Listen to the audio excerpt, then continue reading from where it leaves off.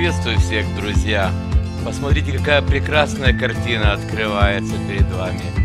Я просто не мог не поделиться с вами этим прекрасным закатом у нас на Бастонщине. Давайте полюбуемся вместе.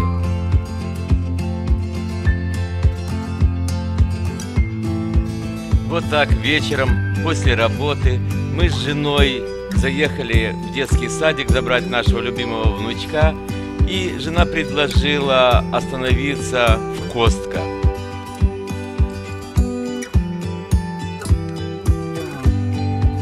Это один из любимейших магазинов американцев. В нем есть абсолютно все. начиная от электроники, телевизорами, компьютерами, принтерами, бытовой техникой, мебелью, продуктами. Все на свете можно купить в Костка. Нужно быть членом этого клуба. Членский взнос стоит 60 долларов на год. Есть в огромном ассортименте, вы булочные изделия. Только здесь я покупаю батоны, они очень похожи на наши европейские.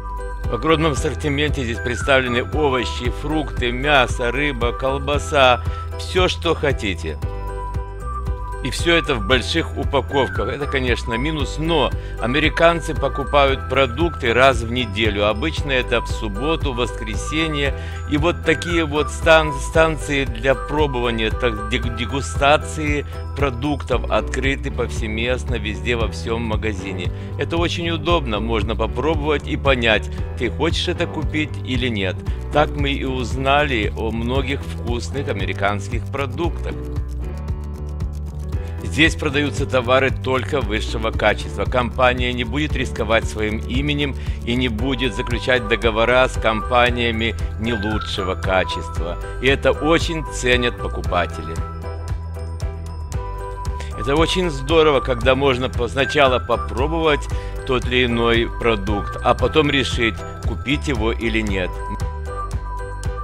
Правда, есть такие товарищи, которые обходят все лотки, перепробуют все продукты и ничего не покупают. Но магазин, видимо, от этого не страдает. Все равно это выгодно.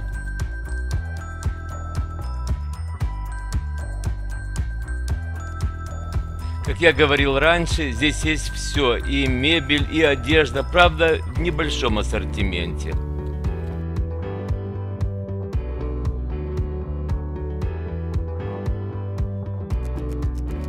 Для любителей кофе есть великолепные наборы кофе разных сортов, но правда в больших количествах. Люди очень любят это.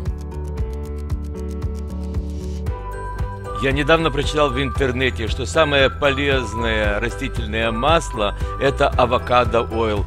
Оно не теряет своих качеств при нагревании, поэтому мы и купили. Мы очень мало употребляем сахар, но если уже покупать, то нужно покупать хороший органик сахар. Он не обрабатывался химией, которой и так очень много вокруг нас.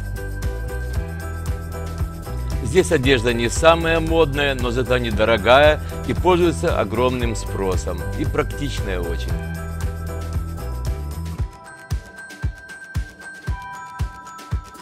В отделе косметики предоставлены самые популярные бренды, и цена тоже, как видите, недорогая.